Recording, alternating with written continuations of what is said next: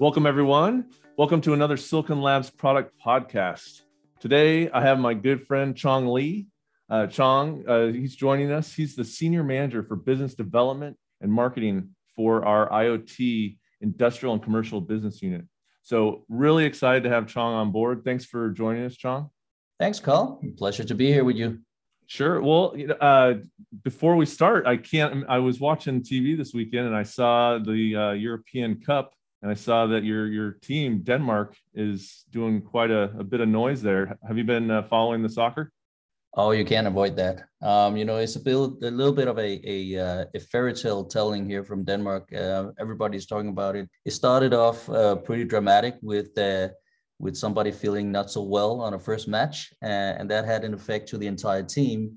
Um, but that eventually evolved to an incredible team, really working well together, playing well together, that eventually made it to the last four. And, you know, we're just looking forward to uh, here on Wednesday, uh, really, uh, you know, going out there and, and play the best that the this team can to win over uh, England here on the semifinals. Yeah, I, I really enjoy watching soccer. It's just so strategic the way, you know, they, they, like you say, work together, but they're passing and they're the way they fall back or press forward. I've always been fascinated by the game of soccer. So, but that's pretty exciting. I, I think uh, I'd love to see Denmark make it to the final two. That would be uh, awesome. So, well, you're here today. I want to talk to you a little bit about your new role. I know we've worked together for quite a few years, and you've been focused specifically on electric shelf labels. And I know you won't take credit for it, but we've had a lot of success. I was wondering if you could talk to uh, the listeners about what you're doing now. I, I, think you have a new challenge, a new role. Uh, can you explain to the listeners how your new role is going to help them and help Silicon Labs.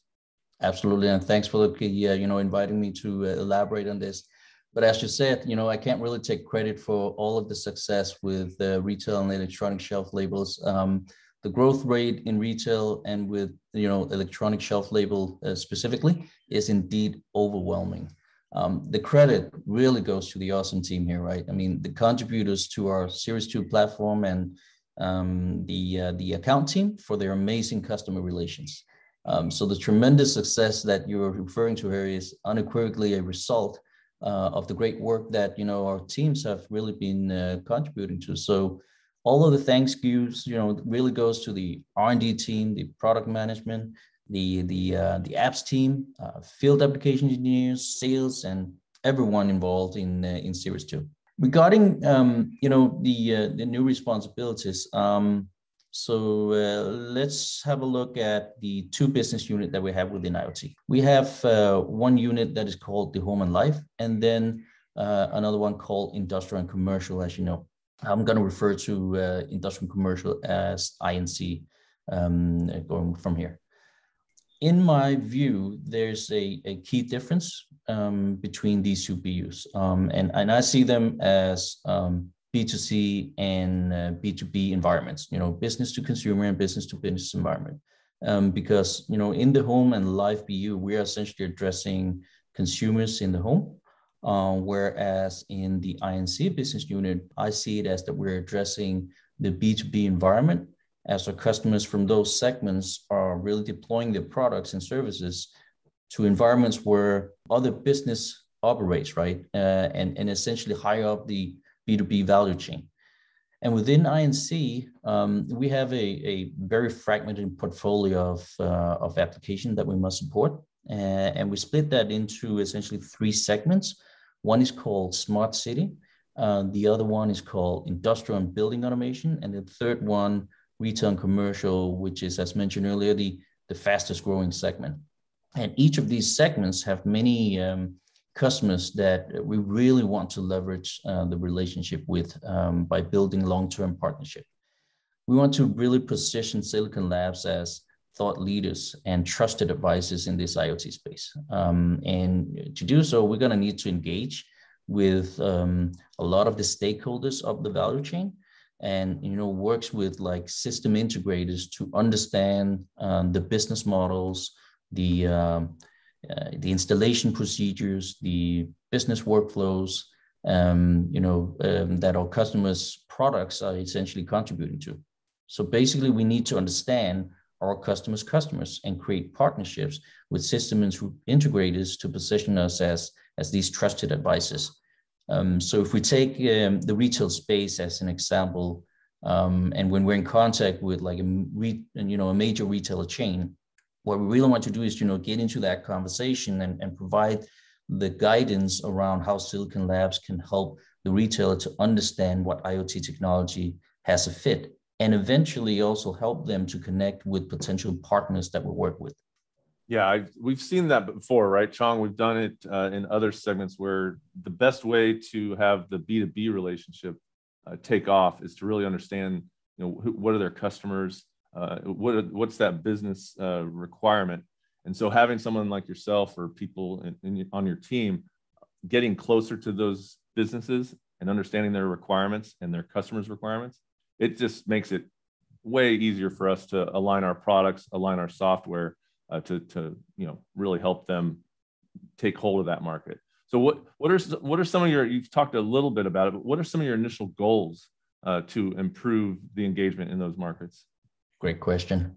In my thought process, um, you can say what really helped us create great partnerships is really through um, a lot of the marketing activities, the marketing investments that we actually do a lot of here with, uh, you know, as Silicon Labs. Um, many of our customers today do recognize that, you know, Silicon Labs is is a leader in IoT wireless, right? I mean, we've been engaged with with a lot of them for many years uh, when it comes to embedded software and hardware development. Uh, and you know, while we have uh, provided uh, you know eminent support and guidance to our customers uh, to ease, you know, the integration of our products, uh, to assist them to shorten the um, uh, the development cycle, and, and to contribute to essentially reducing the time to market. We also, you know, identify some of these common grounds where we can tell our success stories. And I personally would like to tell as many success stories as I possibly can with our customers, you know, because they are really the way I see it is that they are really our heroes of IoT.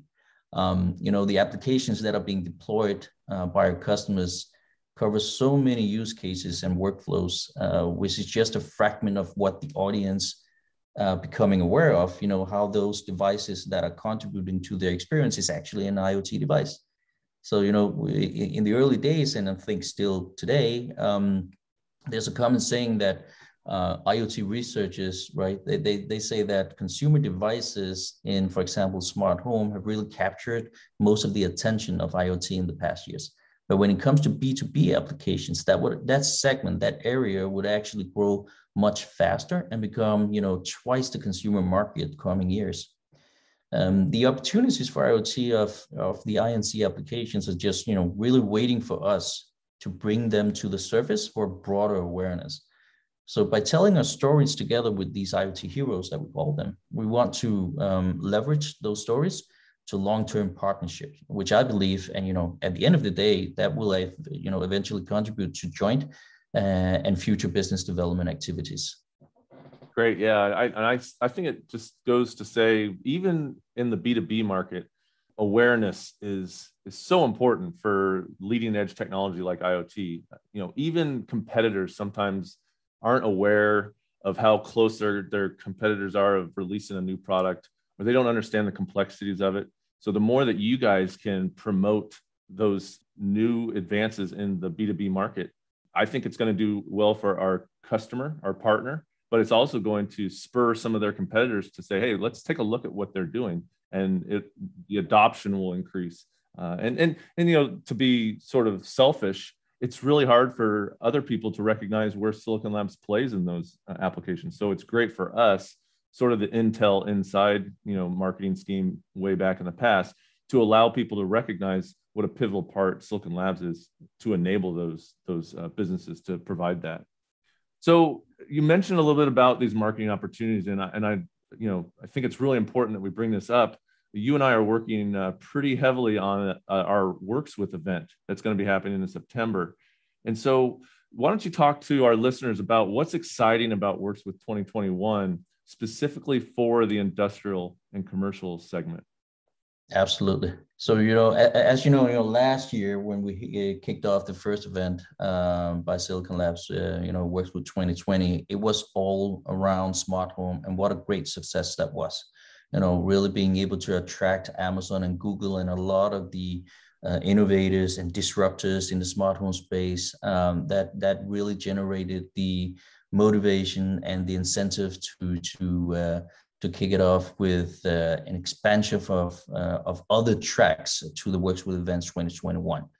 So, you know, I'm really excited to see that we have been able to add the smart city tracks and also the industrial IoT tracks to uh, Works with 2021. You know, they have uh, we have a lot of these um, these smart city uh, enabled or smart city relevant tracks that uh, will help and educate our audiences with how to develop, you know, and how to to wisely connect a lot of these devices, uh, like in the smart metering space or in the street lighting space, in order to address the smart city infrastructure. We have a lot of thought leadership sessions in the industrial IoT where we're taking a lot of the innovative uh, and disruptors in the space of machine learning and artificial intelligence to talk about how you can create um, very intelligent devices to consume, you know, battery consumption to make your products out there in the industrial space have a longer uh, lifetime when they're deployed in an area that is, you know, far away from from normal reach, so to speak. And we have, um, you know, retail stakeholders joining us to talk about how uh, the retail space is really transforming uh, into a much more online and a much more uh, you call you can call it more like a, a omni-channel experience, so to speak. So I'm really excited for for those you know sessions that we're pulling together here and expanding the the works with events agenda with smart city and industrial IoT uh, sessions. In addition to that, it's really exciting to see that we are able to you know expand for both of the keynotes, we have some exciting uh, information and exciting uh, thought leadership with some uh, some important speakers uh, that would like to share uh, some you know thoughts around how CSA and Matter, you know, the recent um, uh, announcement from the Connectivity Alliance, and how Matter have a, an importance into the industrial and commercial segment as well. Uh, and or for day two keynote, we have some exciting, um, you know, knowledge sharing and some perspective on how you can build up a smart city infrastructure seen from uh, all the way up from the city management perspectives down to you know the end devices that goes into your house that contributes to a, a much smarter city infrastructure.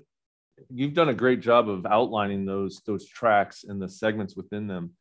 Why don't you share? I, we don't have enough time. We have over 35 partners this year, which is amazing and it's great. But why don't you mention a few that you're excited about? You mentioned all those different segments.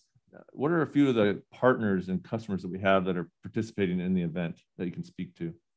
Absolutely. So if you look at, you know, in the municipality infrastructure, this is where uh, we're going to have a, a bunch of exciting topics that we would like to cover um, within the municipality infrastructures that is part of the smart city infrastructure, there's a there's a very important um, and, and relevant uh, technology coming up. And this is the Wi-SUN technology that I'm referring to.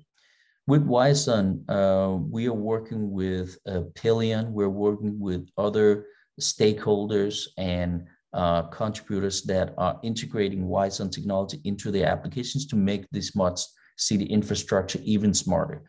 And we have some sessions here that, that will eventually dive into how you develop Wi-SUN application and why Wi-SUN is such a competitive and, um, and, and a really flexible and scalable solution to address a large scale network as a smart city infrastructure. So really, you know, looking forward to specifically talk about the Wi-SUN technology and the partners and the alliances surrounding Wi-SUN yeah, the, the, the smart cities and the Wi-SUN tracks are are chock full of, of valuable. I wouldn't even call them testimonials. They're really educational tracks uh, where these people they're they're talking about the solutions that they're presenting out in the marketplace. And so if you attend works with, you're going to learn from people that are actually producing products, and that I think is the most valuable way to train people uh, versus you know having us Silicon Labs talk as qualified as we are to have people who have embedded our products and our software in their solutions uh, in in Wi-SUN or in shelf labels or in uh, machine learning. To hear that from those customers is is super valuable, and I think it's a better way to learn for for our attendees. So I'm I'm excited about that as well. So uh, we're running out of time. Uh, I have one more question for you regarding Works With, and that's I sort of lead it into it with my response. How do you feel Silicon Labs is qualified in a unique way to to pull off the event? I mean, we're we're, we're we have a pretty big net there with both the the home and life and now the uh, industrial and commercial uh, segments. Why do you think uh, an attendee should attend works with and what is silicon labs going to provide them that you don't see another supplier uh, providing that opportunity excellent question and also a very important one to address. Um, and it goes a little bit back to my initial comment about silicon labs. We're really being becoming or is already the center of iot wireless. If you think about all of the different wireless connectivity that are necessary out there to deploy into various applications Silicon Labs is the one-stop shop, you can say, place to go, right? This is where you have all of the IoT wireless that is needed for whether you need short range connectivity or long range connectivity, the world-class PSA level three certificate of you know wireless security, you name it, we have all of the technology pieces to create a, a scalable and flexible IoT wireless uh, application for your product. Um, so, you know, based on that and based on, on the acknowledgement that we have received, uh, you know, across the, uh, the semiconductor, um, you know, industry, um, you can't avoid, uh, you know, uh, recognizing Silicon Labs is your, you know, your, your IoT advisor, so to speak. So when we're there, you know, promoting our solutions, we do get a lot of acknowledgement from a lot of these stakeholders and by being able to bring them all together, this is absolutely a show that you don't want to miss. Absolutely. And uh, just a reminder for everybody, I didn't mention the top. This is happening September 14th and 15th. It's uh, free to attend. Last year, we had over 6,000 people register and we had 3,000 attendees. So, as Chong mentioned, with the keynotes and with all the, we have 65 classes this year, Chong. Right. There are yeah, there are so many opportunities uh, for an individual to visit the website. It's workswith.silabs.com and find find what interests you. Because as Chong and I have talked about, there are a lot of new opportunities this year to learn probably something that appeals to your your company or your interests. So take take an opportunity to check that out. Is there anything else you'd like to share with the audience before we sign off, Chong? Any uh, maybe website or uh, event upcoming that you'd want to draw their attention to? Well, you know, I, I just want to mention that you know, you know, at Works with this is really a very great mix of product launches that we're looking forward to. It's a it's a mix of knowledge sharing from a lot of experts in the IoT world, and we have speakers from um, from market leaders who wants to make a difference, who actually makes a difference in the world of IoT that will be joining us and speaking at the keynotes, right? So, you know, really by by joining uh, or works with event, you aren't really just attending, you know, another event, so to speak, right? You're really uh, you're getting involved, you're, you're, getting connected, and and you're expanding your network for business growth uh, that eventually will have a significant impact to our world right here. So, I mean, final remark: don't miss it. Thanks, Chong. Yeah, I, I, well, unfortunately, we won't have, we won't be able to miss it. we're, we're required to be there, but it's one of the few things I enjoy being a part of. It's, uh, it's, it's, it's quite a feat to, to pull off, but it's been uh, uh, re- very rewarding.